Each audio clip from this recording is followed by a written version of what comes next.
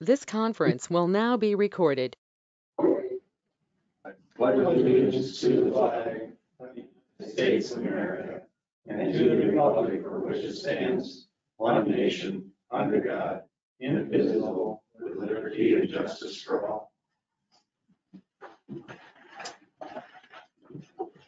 Good morning, everyone. It's April twelfth, twenty twenty-two, Mitchell County Courthouse for Supervisor Board meeting. We have an agenda in front of us. We need a motion and a second to approve the agenda. Everybody so moved. Please made a motion. Do we have a second? I'll second. Todd has seconded. All in favor? Aye. Opposed? None, moving on. We got the, approve the minutes of the April fifth meeting and claims. Everybody had a chance to look that over, if there's any corrections.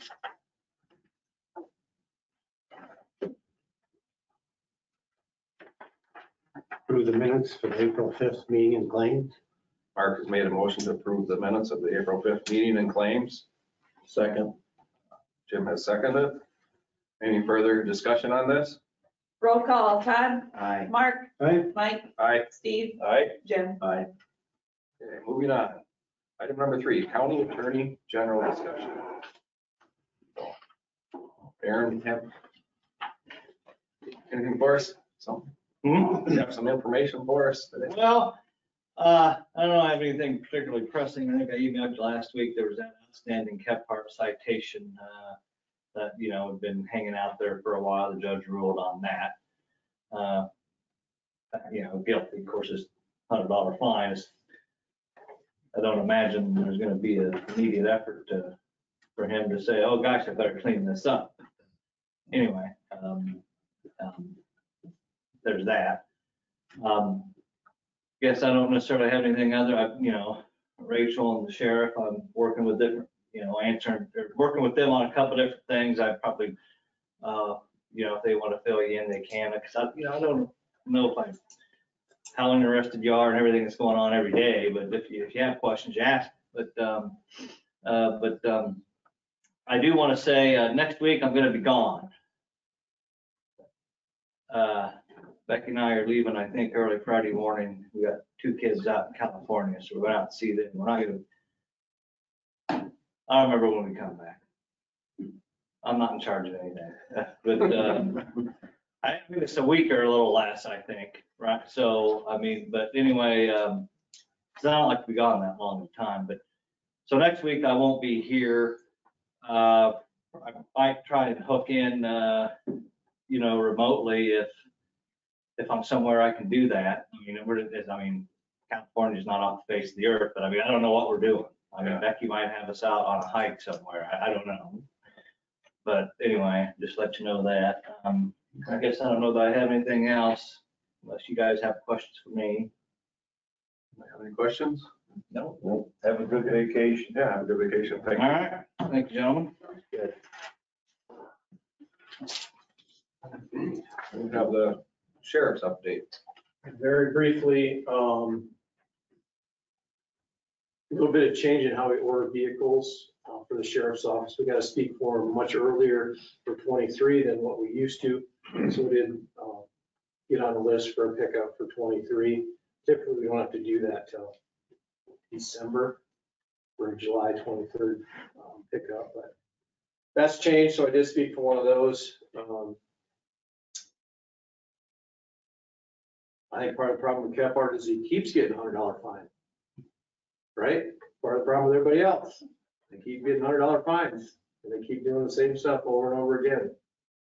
I'm not in charge of handing down those sentences, but maybe that needs to change a little bit. You mean like an increase in the fee The fee? of the fine? Um, That'd be a place to start. The hundred dollars isn't gonna get it done. No. No. That's a tank of gas, so. That's judge we have, so. it's Frustrating on our end. We see it a lot, not just in Kephart. Part of the problem. Um, the other thing that concerns me is, you know, you see the inflation numbers, eight and a half percent today. Um, my budget didn't increase eight and a half percent for next year. So we'll see how that plays out come next somewhere. For gas, we're talking about gas, Gas, just overall food, you know, everything, yeah. everything, yeah, so. We'll just kind of watch that and see how it plays out.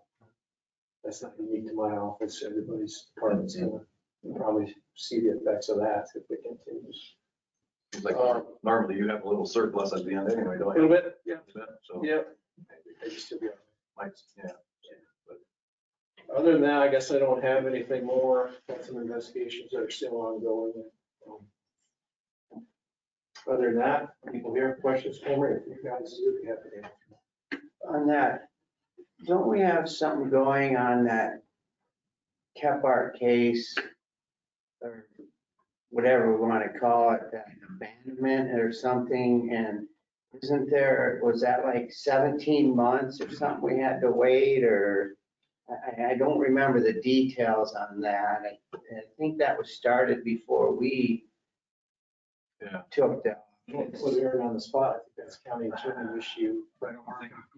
Yeah, do you remember? anything Well, um, On that? Wasn't it more like two and a half years? or you know, I'm not, because a lot of that was, uh, you know, before I was, kind so I, I- I'm familiar with a little bit.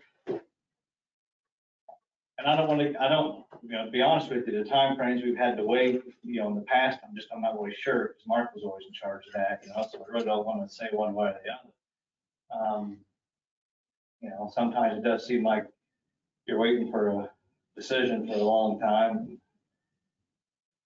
You always get into that. I've got, I've got private clients where I have to have this discussion with too. Sometimes you're, you're waiting on a decision from a judge and it seems like you wait a long, long, long, long time. And, uh, people will say, well, should somebody say something to the judge? I'm like, no. I'm not gonna mention names, but there's about ten, uh, back in two thousand, and probably two thousand seven, where I, where I did precisely that. We wait, not, not, it wasn't the same judge, it was completely different case, you know, none nobody, the judge is not even a judge. Wasn't even in this county, but anyway, uh, waited a long time, I did finally say something. Didn't work out well. I learned my lesson that, uh, I'm never gonna bring that up to a judge again, so I never have. So we always end up waiting, you know? So I, you know, I don't know how long we had to wait for different things, because I, you know, Mark waited. You, Todd, you referenced the uh, abandoned property. Now, that's a different case. That case still pending. Right? There's an abandoned property case pending that's set for later in the summer where we're trying to get title to some of what property that's in Kephart's name, but that's, from our position, is abandoned, which is this property. Um, Isn't, isn't that because of the property taxes and not being paid and stuff and the judgment against it? Is that what you're referring to? I, I The don't, cleanup from the last time? I don't remember, we talked about this quite a while ago and Yeah. about something I'd already started. Um, since, well, was it nineteen? I think you guys cleaned them up yeah, that time and then it just filled back in. And then I thought there was something that the county start, rather than paying another twenty thousand dollars to clean him up, there was some sort of a, I don't know if it was abandonment or what that was. I think you might be talking about the petition for abandoned property. Uh, that was filed, well, I, I don't remember exactly how when it was filed, it was filed with Mark Still County Attorney. Filed, I, I don't remember exactly, I mean, I've got the file, I looked at it, I just don't remember when that petition was filed, but, but it's set for trial, uh, I think it's this August. Now, what you could be, and I don't know if this is, um, what you think, but it could be, I'm speculating, any kind of district court case, whatever, uh, you file it, it's like personal injury case or anything else. If I file a case, well, like I said, let's say I'm getting ready to file a case today, you know, for personal injury, business litigation or whatever. Um, it, it's, you will frequently wait anywhere from 12 months to 18 months just to get a trial. right? So if I file a case today, I'm probably gonna be looking at a year down the road at least before I ever get a trial date. Um, I don't know exactly why it works that way either. Um, I always thought that's a little long, but you know, I'm not in charge of that either. But, uh, so I don't know if maybe uh, at some point Mark might have said, okay, we're gonna file this, but we're gonna have to wait this long before we get the trial. I, I don't know if that's maybe what he said. Um, but it could be. I mean, whenever you file a case, you probably are waiting a year to a year and a half before you ever get the trial. A lot of times people will say, why is that? I say, "I don't know."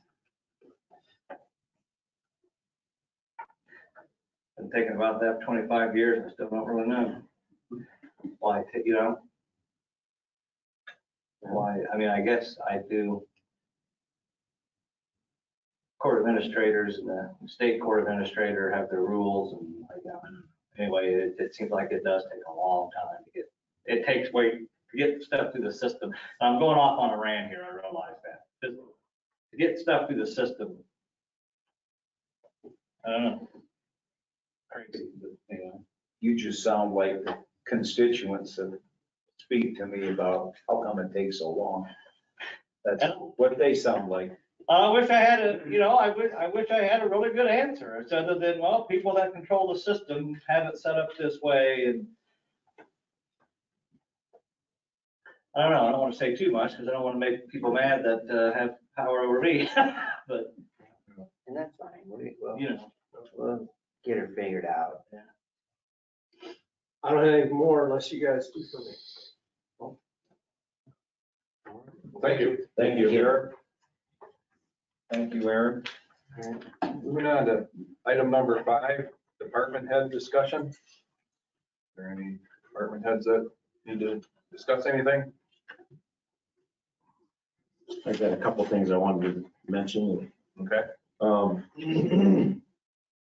So uh, one has to do with county abatement. The, all the cities in the, the county, be Riceville, Stacyville, St. Ansgar, and Osage have county abatement for new construction to residential and commercial properties.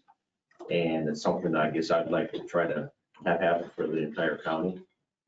Uh, NIACOG is the uh, entity that writes up a plan for all those cities. And so if this was something the board decided they wanted to do, NIACOG would have to write up a plan. I'm gonna probably have, and Chris Diggins is the guy that does that from NIACOG.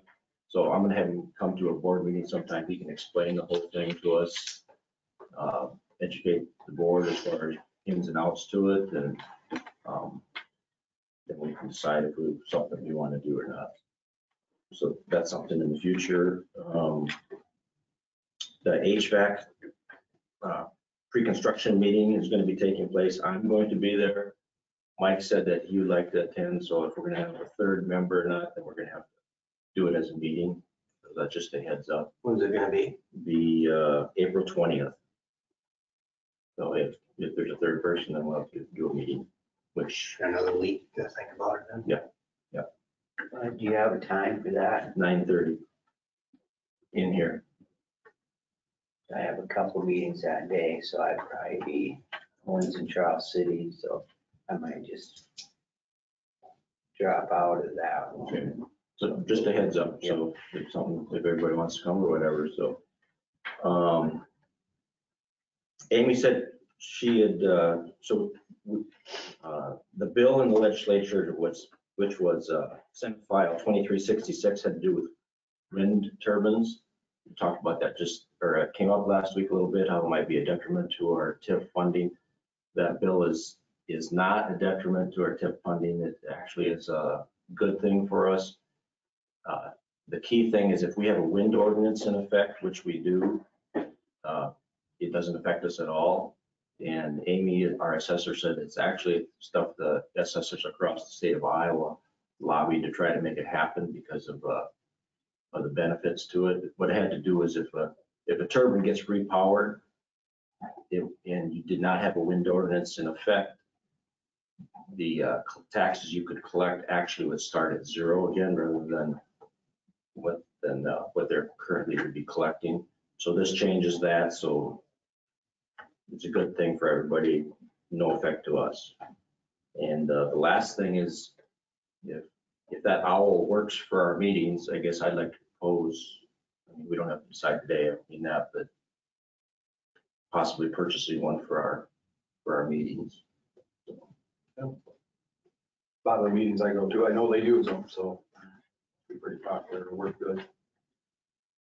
That's all I have, Okay, well, thank you. information mostly.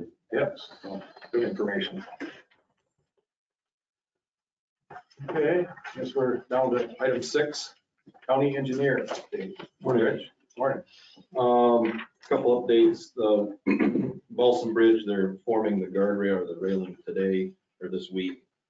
I don't know if they'll get done this week forming it with the weather that's coming in, but I think they're gonna start planning maybe, like, plan next week for the railing. That sounds to me like the subcontractor who's doing the approaches is chomping at the bit to get out there, so hopefully things are accelerating pretty well out there, but uh, with the weather, who knows what's happening. Um, also, I have a meeting at ten thirty out at the ethanol plant on the state line. Um, The the ethanol group, they want to put a different driveway in, but there's concerns with the road that's out there. And obviously, with heavy traffic on there, there's been a concern for a while. There's some panels that are broke. And then on the north lane, which is the westbound lane, with all the heavy traffic, those panels have faulted. And so they're all tipped. When you trucks drive over, you can see them rocking. And that's the loaded side. The other side seems to be fairly okay. So uh, that road isn't in any five-year plan to, to do anything with, but uh, it's not getting any better. Um, I'm gonna ask, I'm gonna meet with their subcontractor, or their prime contractor that's doing their driveway, and just get a quote for what it would cost to replace the lane of traffic from 218 to the facility, or at least from the railroad tracks to their facility, because those are the worst panels that are there. Or I'm gonna get an estimate too and figure out what a dowel bar retrofit and diamond grind would do for that. Uh, The dowel bar retrofit is where they drill in, they grind in dowel bars and they epoxy them in and then they diamond grind to get rid of the faulting. And each joint now, there's a load transfer. I don't remember, Jim, do you know if that's at least an eight inch pavement? Eight inch. So it's possible to do it on an eight inch pavement. Anything else we had was less than eight inches. You can't do a dowel bar retro- retrofit where you haven't been able to in the past. So there's options there, but we gotta figure out what we want to do there because those panels are falling. There's actually one panel that's completely busted out and it's holding water, so it's just getting worse. So something I'm gonna look at too. Um, In addition to that, we were gonna discuss the budget and program here this morning, but we won't because the county engineer's website went down last week and they haven't gotten it back together about, me and about sixty percent of the other county engineers can't access our, well, none of the county engineers can access their information, but everybody was waiting to do their final tune-ups this week before their board meetings and last week too, and it went down. So we will be in violation with the code of Iowa, but however, uh, the situation is not really in our control, so they'll make adjustments to that, so we won't have to worry about that. We just have a note on it because there's Iowa code and then there's what we do here. And according to Iowa code, it has to be turned in on the fifteenth, but because of technology issues, there's really nothing we can do about that. I mean, we could turn it in a month prior to, but we're still always trying to fine tune everything before the end, so. Uh, we won't be talking about budget and program this week, and I don't know if we'll be talking about next week unless the, the system gets brought that up rather soon, because it's, it's there, I was doing some final touches on it and getting some maps ready to go, but don't have anything for you today, so, So that's the approved, the DOT budget. yeah, that one won't be discussed. For today. Okay. So then the only other thing I have for you this morning is, well, two things, the, the, the bridge design on 105, and then I handed out earlier, kind of a cost breakdown. Jim was worried, or wondering, you know, what does it cost us to do everything? Um, So on the very top of that sheet, you'll see that this was a quote from a while ago, six-month temporary traffic control with signals on that location for one lane of traffic. Um, After doing some research, I don't think, I think I brought it to you guys last week, that there really isn't a- a traffic control standard that fits the needs that we have in that situation because of no passing zones that exist already. Otherwise, be a little different situation. So um, they gave us a quote of fifty-five thousand five hundred dollars for six months. And then beyond six months, we're talking about sixty-five hundred dollars a month for traffic control. I don't know how long everything's gonna last, so I just assumed a year on something. So these temporary repair numbers are the same as what I, I don't remember if I handed out to you this, but this is what you've got, what I've been telling you about.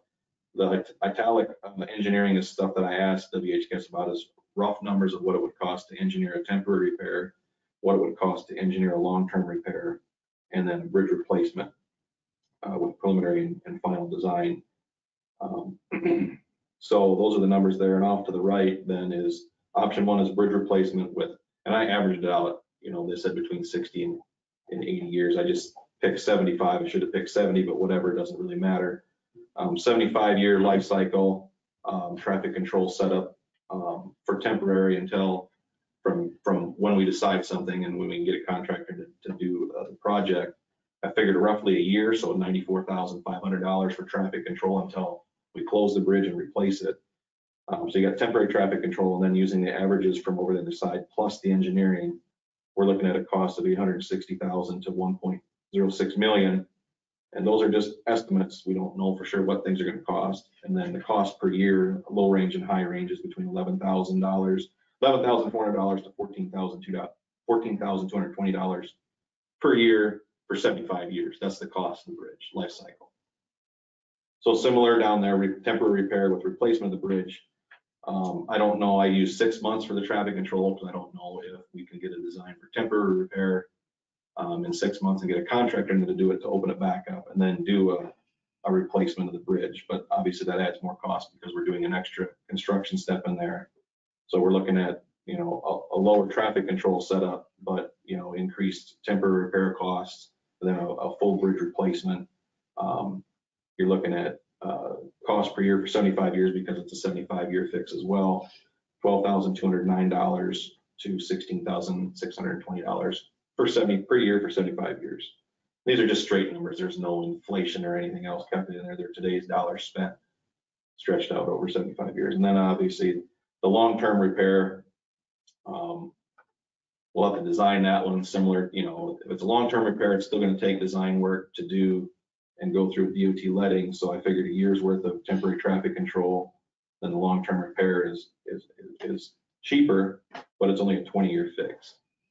Um, So we're looking at cost per year of fifty-nine hundred fifty-three dollars to eight thousand five hundred thirteen dollars, but only for twenty years. That only gets us, you know, not even a third of the way uh, to the regular bridge cost. So it's actually more expensive because we'd have to do something in twenty years. So that's the breakdown of the costs, which I recommend we just do the complete roof replacement and, and not kick the can down the road. Um, and I don't know if the temporary repairs is something that we can get done, even if we get it designed, when we can get, can we get the contractor to do it? And how much will it actually cost if we're, you know, trying to be in a hurry with a temporary repair? Jim and I looked at that bridge and the, I don't know, the limestone wall on the south lane east side is in the river. Mhm. Or maybe it was when. Yep. That's bad. Yeah, it's bad. That's what prompted the whole, Yeah, before it was only a few bricks down or a few blocks down Blocks. by the water line. We were gonna There's, do a repair on that and that didn't happen. it'd be deep by Yep. the length of the, the whole. wall. It's a substantial project. Oh, yeah. It's- Yeah. I would, if you, like the long-term repair of the twenty-year one, I guess the cost per year is cheaper, but it only lasts twenty years. Yeah, and then you gotta start thinking, okay, what's it gonna, what's the cost of the bridge gonna be in twenty years? Add that on top to get the same lifespan. Yeah. It's gonna be more expensive. Is there, is there money in your bridge repair fund to do the total replacement? I think I can get that stretched. Just that stretch? It depends on how the bridge comes in north of Stacyville, because that's how close we are to borrowing ahead on everything. Right now, the numbers I look at, it looks like we can do it. Because it's actually in a different fiscal year, so we'll have money coming in before it's let. But it's hard to project all that stuff when money's coming in and out and what, ti- at what times that money comes in and out. We program for when the project is let, and here's the money we have. But if a project comes in under budget, well, they don't release that money either until the project's done, and then it shows up in our, in our, in our fund balance. So it's touch and go, but Right. I think too, if we were to borrow ahead a little bit, if, if we were, if we were over the four and a half years by a small amount, I think I could write a letter to the DOT or contact them and say, look, this is this, and they would probably, they might be okay with it. I don't know that for sure. But depending on how much over we would be, they might allow that. Never had it happen, so I don't know. but Yeah. And uh, just by forecasting the money where it's at. Now, And we don't know yet either what the federal bill is doing to our funding, because it's supposed to increase it, but they haven't given us those numbers yet, so we don't know. Which is why I think we're probably in better shape, it's just that we're in a longer timeline now for it. When I submitted a review for Worth County's budget, I had some projects in there and it said you can't do that because I had borrowed nine years ahead for bridge money because I was trying to show a need for the money, but it wouldn't let me do it. So I had to turn them to local projects, even though we might not have the money to do them. I needed to show a need. Yeah. And I know the DOT doesn't like that, but how else, do you- if we just show what we have to make our budget work, how does the DOT ever know? Or anybody know that we need more than we get? So. um, The way I pencil things out now, I think it's really. think it'll work until we close. And then, you know, is that, there's that federal infrastructure money that's supposed to be coming at some point too, and maybe by then that'll. And that might increase that That might funding, or it's supposed to increase that funding, we just don't know how much. Yeah, yeah. But we can't leave that bridge set there forever like I can see it. One side anyway. The other side's probably not gonna get any better. I mean, you can see that's deteriorated too. but Well, it's- the other it's- line's going It's off on, it's weird how they built it because on the west side, it's half the abutment is limestone. The other half is concrete and on this side, it's in the middle. So I don't know if they aligned the road a little bit to make that intersection work better when they did the bridge or what, or when they widened it, they probably had to shift things because that's what the project was, was a widening project. I don't know how they did it or why they did what they did, but it's there and we gotta deal with it. So And that yay for jurisdictional transfer back in the eighties That, that that was a state road with It that. was. and we graciously accepted it, I guess. We didn't have a choice. Anyway, that's the summary there, and you do have, or at least you have the contract from WHKS that I presented, at least a, a small overview of what the costs were for pre-engineering of thirty-one thousand eight hundred dollars to get this bridge going. And then estimated final design will be another thirty thousand, so we're looking at sixty-two thousand, but that's, that's a rough number because I don't have that other contract, and we won't know that until preliminary is done, so. Question between option one and option two. Why why would we, why would we do a temporary repair and then still build a new bridge? Would it only be just to save traffic control costs or? what? Yeah. That's all. But when you look at the numbers, would we save, you know, we'd be doing traffic control and then we'd still be paying for the temporary repair, but it would be just to get the road back. Option two is, do we want full width traffic back on the system until we can replace the bridge? Or can we live with the, the one lane option with signals? Because the liability is there. I, I, I I battle a lot with myself as to, this is working, it works fine until something happens and then it's not a standard anymore. And then we maybe open up ourselves to some liability. But if we get traffic control in there and set it up the proper way, there's still less liability for us if something were to happen. The biggest, eh, eh, the biggest issue with that is the intersection that's within the standard setup for the traffic control. We might be looking at three traffic signals instead of just two because the people that come off of Cameo need to know which way traffic's headed and the staging there. So, and, and the way the the lengths are set up, it's just all design. I mean, it's, it's not a standard setup either. Yeah, I know semis coming from the north. that- They didn't want to go west. Yeah, It's have, you know, they got to make sure nobody's coming and making. And having, having this other setup might make it even worse because the way the traffic control is, they, they spread, everything's spread out further.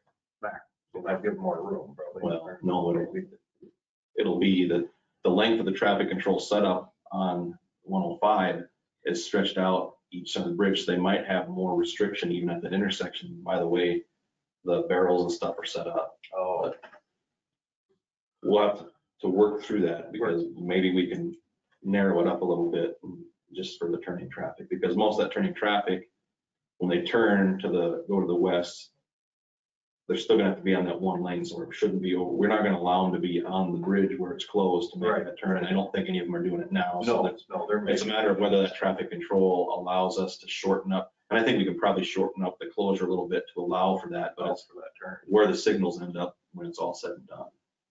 Uh, the guy told me they're, they're having trouble with that. Yeah, Yeah. and so then do we want to open it up to full width traffic and spend the extra money on a temporary repair? But there's designing that and getting the contractor in in a timely manner. We won't make anything better before spring. Or before spring planting, I guess. We're already kind of in spring, but temporary, if you're gonna tear it out anyway, I don't, I don't think that's. Well, it's I think throwing, waste you're of throwing a lot of money into something, then yeah, we can get all the steel back, but we don't get the labor back. You're right. Now, the, the design for the new bridge, will the road be a little wider than what it currently is? one oh five, Yes. I think the, I'd have to look. Yes. Bridge deck. that We've got, I, I gotta remember what the actual, I don't remember what the bridge deck width is now. But we will use the minute, we'll probably use the minimum standards on it, which I think the minimum standard is Still, thirty-two foot. still would be wider than what we have. We can still, we can still discuss, yeah, I mean, there's a, with those designs, you're getting rid of a curb, which takes up, you know, a little bit of work on each side, but yeah, it, it should be wider when we'll, and we'll look at this design standards a little bit, we have to make it a little wider, we make it a little wider because it is a difficult intersection to make work. I mean, I don't know how many times we've replaced guardrail on the that inside of the corner, curb because people drive over it. See people done rubbing it. Yeah, Oh, I'd inside the curb is either twenty-six or twenty-eight feet probably. Yeah. So we'll, we'll make sure it's a wider. I don't know if that guardrail, you know, That- when it's in, if it can be moved back, I don't know. That guardrail gets hammered It's, about every other year. yeah, it's been repaired and, uh, we've tried to make it work what we can, but it's obsolete, I guess, when you think about what's there now and what should be there. I've been, So it'll be improved in that respect, but it's gonna meet, it's gonna meet the, the requirements too, and I don't know. It seems silly in a way because when you see the design, it's much like the one on uh, Foothill south of St. Ansgar where that came around that corner there. You've got an attenuator head on the gravel road, but nothing coming, but you're also on the, on the tail end of the, of the bridge, so. But those attenuators are there for a reason, but to make the guardrail continuous, you gotta take around the corner and then it adds more length, but yeah, I've helped repair that twice over the years. It seems like the people that are coming from the southeast are not, I don't know if it's because of the slippery or what, but they smoke that corner. I've seen the trucks try to swing wide and their trailers end up riding on top of it sometimes if they're trying to cut it too tight too. They're not familiar with the inner area and they're trying to make it a right-hand turn to go west and they don't use the whole intersection to get around. And putting the, the, the lane closure just makes that worse. Well, So you do have a professional services agreement um, to evaluate or, you know,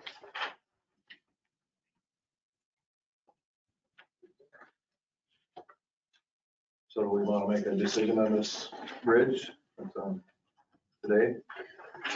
I guess I would recommend option one.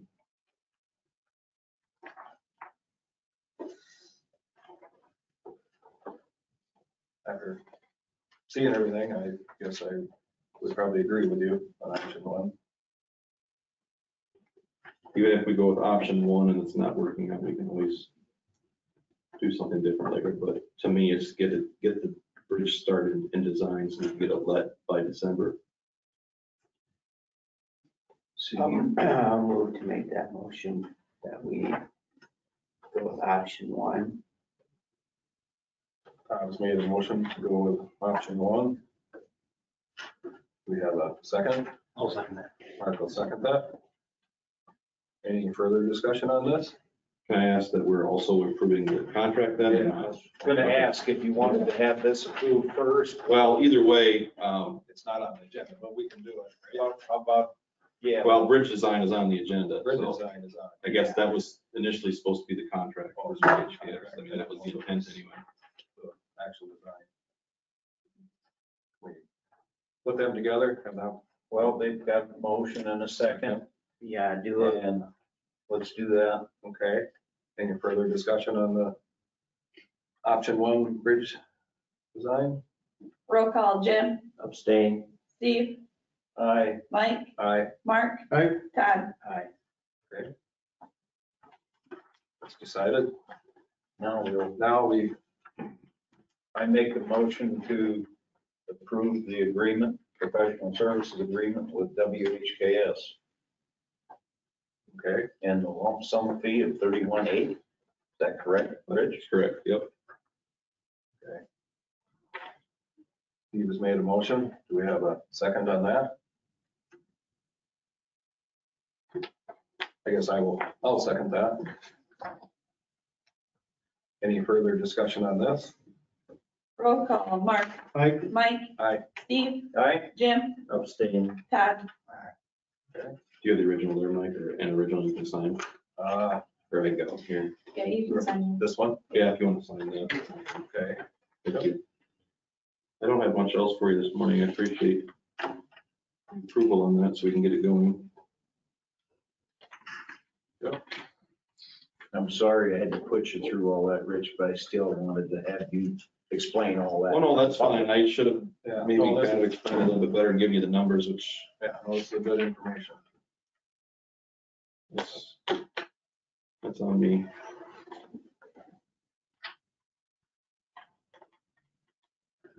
Okay. Like I said, we'll figure budget out when I get access to our system again and talk about the budget next week or two, hopefully. I know when I called the DOT, they, they knew they were in trouble when I called Service Bureau. They couldn't comment on what happened, so I'm guessing it's not very good. I'm guessing it's a pretty severe thing. It's not good. Okay, There's that. thank you. Yep, thanks. Okay, That's all I got. that's all you got? Mhm. Okay. I don't know if Amy's here. Were you here for, Amy, for that SF, that Senate file or, Yeah, I can. okay, Okay. Go back to that? Yeah, we can go back to that. Go back to. Otherwise I can wait. Whatever, you, whatever. but I'll I- just, just some quick information for you. I'm sorry, that I one's meant, mine. I mentioned it just a little bit at department head discussion, so. And I, um, think my, uh, clock in my office quit working because it's a lot later than I thought it was. Thank you. Um, I just wanted to bring to your attention, there's, um, some clarification on an existing law. This is Senate File 2366, um, that has passed out of the House and is now going to the governor for final, final approval. This is in regards to wind energy conversion property. And, um, we would, we would call it a wind farm. And, um, I just wanted to point out that, again, this is just clarification on an existing law, but I do think that this is all good things for Mitchell County. I say that because the clarification, as I understand it, is that only if the wind ordinance is repealed by the county supervisors, then the wind farm would become centrally assessed on its 20th year after the full um, schedule had expired. Again, that's only upon repeal of the wind ordinance. And what I gave to you is basically um, the original version of this bill, which at the time was House File 2561, later became Senate File 2366. But um, this fiscal note is basically explaining the intent of the bill. And I did put some uh, notes in there again in the red boxes of my interpretation. Um, The second part of the bill is that it also states um, that main- maintenance, refurbishing, and/or repowering of the property shall not cause the project to receive the benefit of a new valuation schedule. The reason this is a good thing for Mitchell County is that previous guidance from the Iowa Department of Revenue was instructing assessors um, upon the refurbishment of the wind turbines that we would need to subtract cost of the refurbishment from the original valuation schedule and then start the refurbishment cost at a, um, start that schedule over, meaning the value would start at zero. But um, in order not to double assess, you would first have, have to subtract that cost from the original schedule. And that would not have been um, beneficial to Mitchell County, being that they are in an urban renewal area.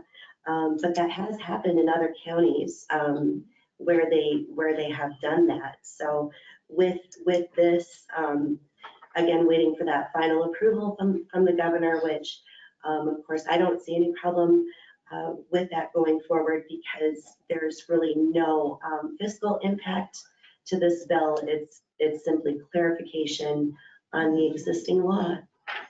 Um, Does, is that understandable for everyone? Okay, Yes, I think all so. right, that's all I have for you. Thank you very much. Yes, thank you. you.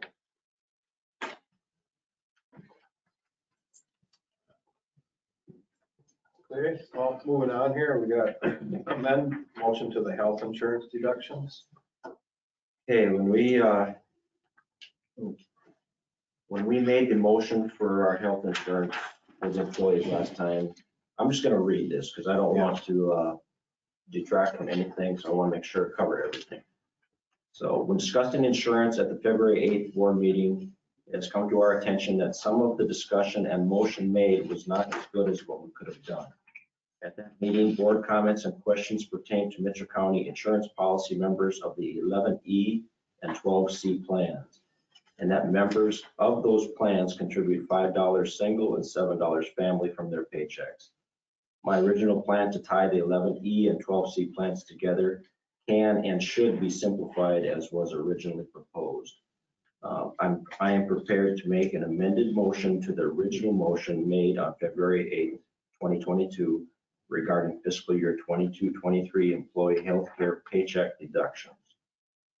The old motion as read from February 8th, 2022 meeting minutes was motion by Smolik, second by Weary to have employees on the 11E plan contribute $5 for the individual plan per pay period, $7 for the family plan per pay period, and have the HSA monthly contributions be based on the 11E actual cost. Roll call, all voted aye. So I'm gonna make an, I'm gonna make a motion. If you want to second it, that's fine, we can discuss it, but I'm gonna make a motion to move from there, so. The amended motion to the February 8th, 2022 motion is, I move all Mitchell County employees that utilize the Mitchell County Healthcare Plan have a deduction applied to their paychecks to offset insurance costs. This deduction shall apply to the current 11E and 12C plans. Single policy members shall have a $5 deduction applied to 24 paychecks per year. Family policy members shall have a $7 deduction applied to 24 paychecks per year. Deductions shall be shown as a separate line amount on each paycheck. This employee deduction under the 11E plan will be applied to the current partial self-funding system already being used. This employee deduction under the 12C plan will be applied to defray, to defray HSA insurance costs. That's the motion. And I'll second that. Okay. We got a first and we got a second. Any further discussion on this? Roll call, Todd, Aye. Jim, Aye. Steve, Aye. Mike, Aye. Mark. Aye. Okay. That should clear that up.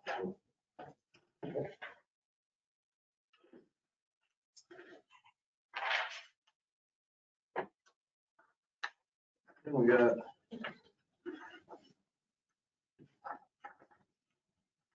discussion on discussion and action on group benefits, program 28E agreement, resolution. I'll give a little brief. So group benefit partners, they're the ones, they're that third party where, um, well, the traditional plan, they pay, they send the checks to employees and we pay them back for those costs. So we're basically working under all these rules, but they want to put it in an agreement, have it all written down, all signed by all the counties. So it's something they're already doing without us signing the agreement. They just want an agreement signed. Makes sense, I guess. You want me to read this or no? If you want to read maybe the resolution, unless you want to read that whole agreement, that's the other one. Uh, Just resolution. Or, yeah, whereas the Iowa State Association of Counties, ISAC Group Benefits Program, a Chapter 28E organization, has adopted a 28E agreement for its group health and related benefits program for the purpose of providing group health benefits for employees of participating entities. Whereas the county of Mitchell desires to adopt the 28E agreement for health and related benefits for eligible employees. Now therefore, it be resolved by Mitchell County Board of Supervisors that the county desires to adopt the 28E agreement for the ISAC group benefits program. So I guess we need a motion and a second on this to continue with what we've been doing. Just I'll, I'll make a motion to approve this. Second. Jim has seconded. Any further discussion on this? Roll call, Steve, Aye. Todd, Aye. Mark, Aye. Jim, Aye. Mike.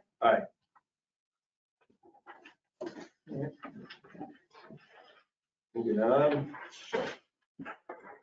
We Gotta approve a letter of support for potential funding of proposed OMU broadband project.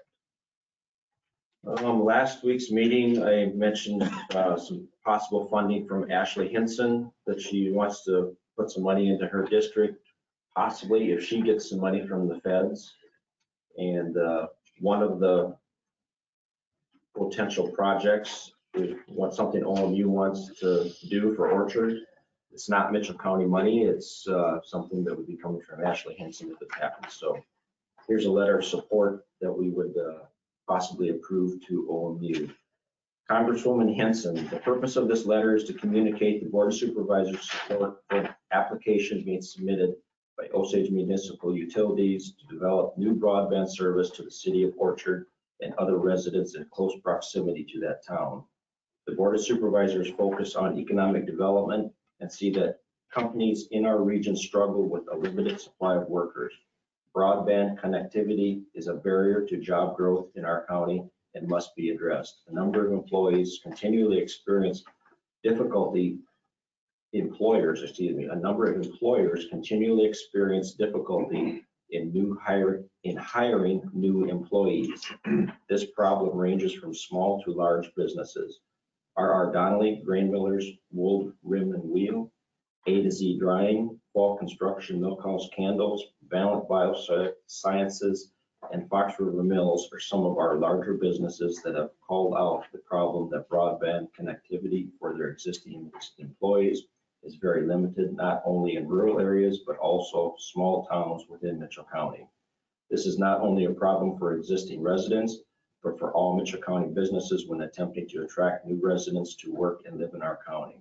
All school districts in Mitchell County have mentioned the need for adequate broadband. Today's learning environment requires this to properly educate students in rural areas and small towns. Families are hesitant to move to a rural area without proper broadband service. OMU has been the main internet service provider to Osage for a number of years. OMU has had a commitment to expand this service to encompass as much of the Osage Community School District as practical. The small towns of Mitchell and Orchard are within this school district. Broadband construction to Mitchell has been completed, and it is OMU's goal for the town of Orchard to be included to the OMU service provider network. Providing broadband in Orchard and Mitchell County is important to the Mitchell County Board of Supervisors. We are committed to promoting this project. We encourage funding of this application due to the high level of need for broadband in Mitchell County. This broadband project will not only support our current workforce, but aid our commercial industrial businesses with any future expansions. Adequate broadband is also vital to the education of our youth in today's society. This is a direct positive impact to the economic development of Mitchell County. Thank you for your consideration. Sincerely, the Mitchell County Board of Supervisors. Thank you, Jim.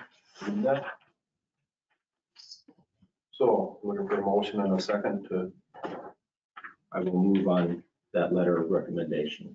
I'll second that. Okay, Jim's made a motion, Steve has seconded. It. Any further discussion on this? Roll call, Todd. Aye. Mike. Aye. Jim. Aye. Mark. Aye. Steve. Aye. Okay. Thank you. Okay, moving on, we got the approve the auditor's quarterly report. I added report. one to the agenda. We got one. more. So approved letter of support for potential, oh, sorry, approved letter of support for WWTF improvements for Riceville. Oh. Anyways, Okay, that is basically the same situation where that there is some funding that uh, you can get through Ashley Hinson, the Riceville City. uh, There's a need for a different sewage uh, treatment lagoon out there. And they expressed that they would like to have a letter of support from the supervisors. So I will read what that request is, uh, and we, the supervisor, we, the Mitchell County Board of Supervisors, wish to express our support of the Riceville, uh, Iowa wastewater treatment facility improvement project. As a small community with a plant constructed in the early 1960s, it's time for a new plant that meets the needs of the community and projects protects the environment. The existing plant has served the community well, but meeting with the new NPDES requirements requires an upgrade while allowing for growth in the community and reduction in ammonium nitrate, nitrogen effluent into the Wapsie Pinnakin River. And in closing, thank you for all that you do for the citizens of your district and, and of Iowa by your service. Sincerely, Mitchell County Board of Supervisors. So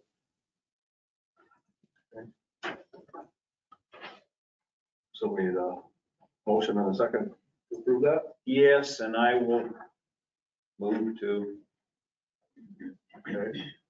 Steve's made a motion to approve this letter. We have a second? Mark will second that.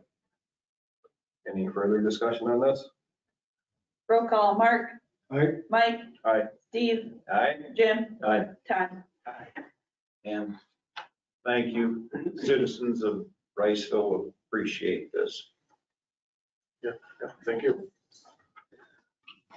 Now, we have item 10, approve the auditor's quarterly report. We have that in front of us. It's a total amount paid to the county treasurer was $11,054.79. Quarter ending March 31st, 2022.